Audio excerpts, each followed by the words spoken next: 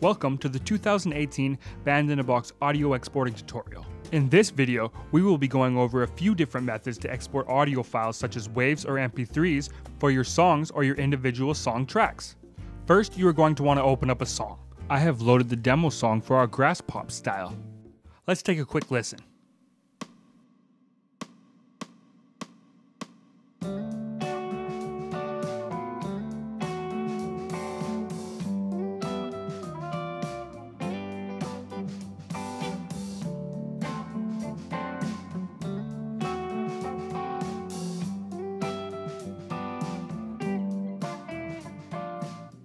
Okay, so now that we have our song, we want to export it as an audio file for casual listening purposes. The first method I'll show you for doing this would be by using the Wave button.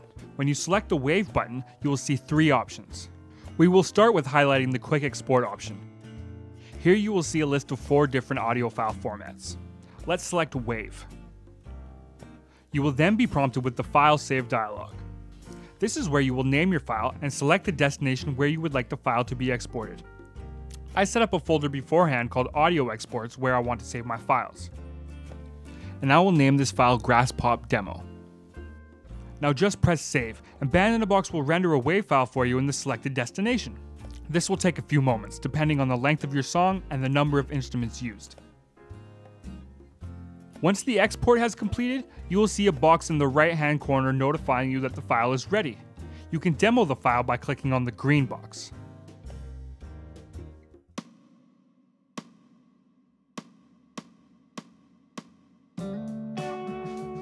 You can also view the file's location by pressing on the folder icon in the demo window.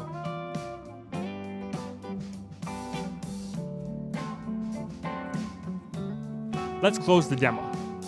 I'll demonstrate this same export method, but with an MP3 file this time. And I will name it Grass Pop Demo 2. Press save, and wait for your file to render. Creating the MP3 will take a little bit longer because the program will render out a WAV file first and then convert that to MP3.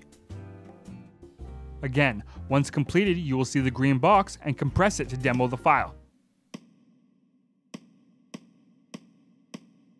Now if I bring back my audio export folder, you will see both the WAV and the MP3 files I have exported.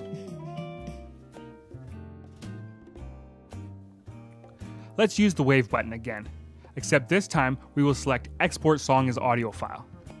The Render to Audio File box will open up with a number of options. The first option is Format. This time we will choose Wave. The second option is Channels. Here you can choose whether to export mono or stereo files. Let's just select Auto. Next you can choose whether or not to normalize your mix. You can also split your song into one file per audio track, but I will show you this a little later.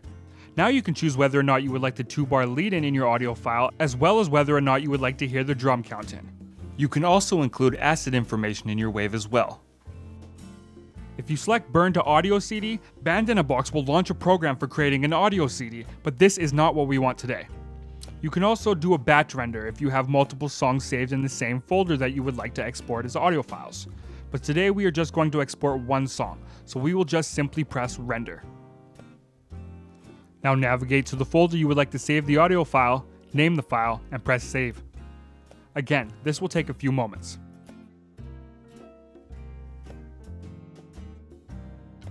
When the file has completed, Band in a Box will automatically open the location that the audio file has been saved to. Double click the file to take a listen.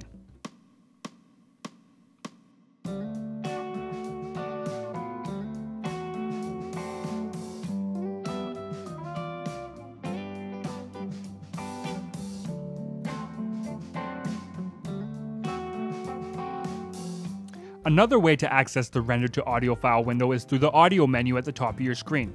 In the audio menu, select Export Song as Audio File.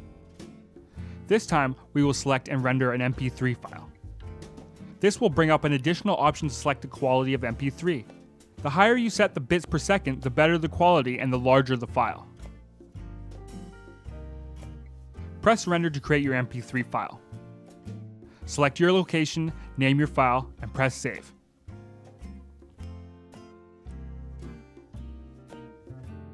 Once completed, Band in a Box will open the location of the MP3 file. Our third option for exporting audio files of your song would be using drag and drop. Along the top of the Band in a Box GUI, you will find a black bar that includes the names of all the mixer tracks as well as the master track. If I select the bass in this bar, it will automatically select bass in the mixer.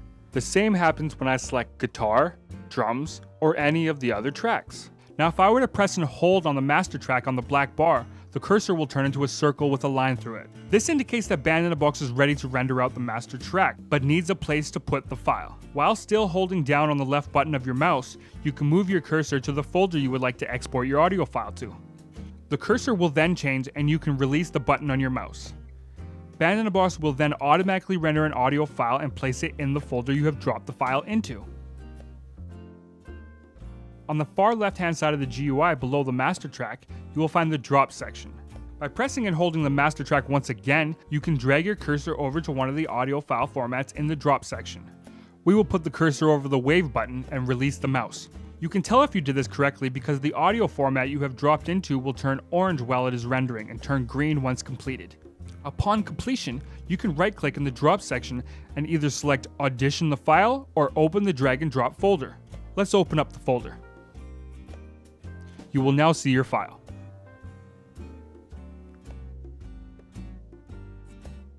You can also drag and drop to the plus symbol in the middle of the drop section. This will bring up more options for file formats you wish to export.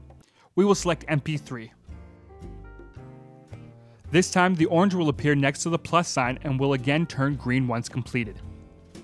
Again, right click in the drop section and select open drag and drop folder to view your MP3.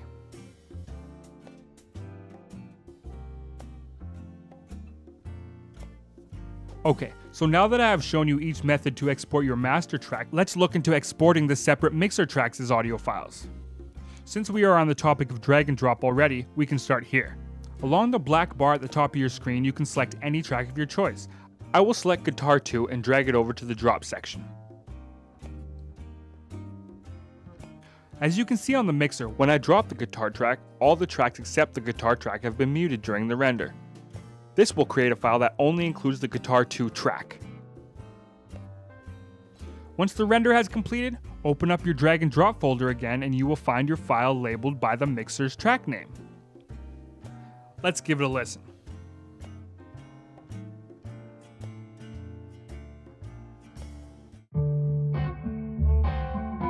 It worked perfectly. You can also drag the master track to the plus symbol on the drop station and select the separate file for each track option. This will create a separate audio file for each of the mixer tracks. During the render, you will see the mixer solo each track one by one as it renders them out. It will take some time to render all the tracks. Once completed, you can open up the drag and drop folder to find your files. Let's test out the drums track.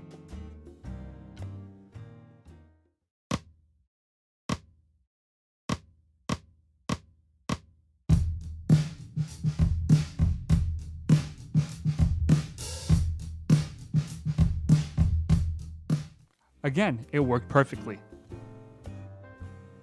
Now let's go back to the audio menu and select export song as audio file again. Remember, this selection brings you to the same dialog box as the wave button we used earlier so you can use either of them to navigate here. This time, we will select one file per track. This will split the mixer tracks and render each as its own audio file. We'll select wave file again. Press render, select your destination, name the file, and press save. This will take a few moments as it will be rendering multiple files.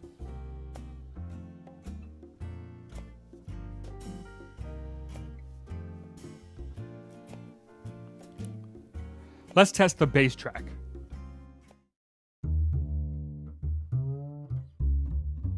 Looks like it worked great. Some people may want to export their audio files directly to their DAW software for further production, mixing, and mastering.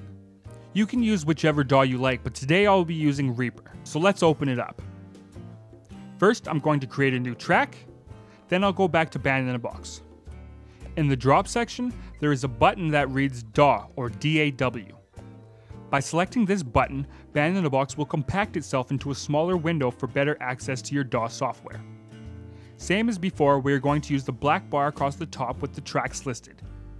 Let's select the bass track, but this time we'll drag the track directly into Reaper and drop it on our newly created audio track. Once the render has completed, the audio track will appear in your DAW arrangement and can be played from there. Let's drag a couple more tracks over. How about drums?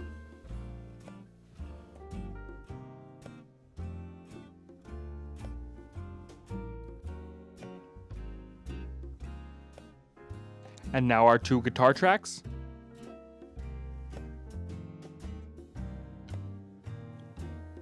Now let's play them back all together in Reaper.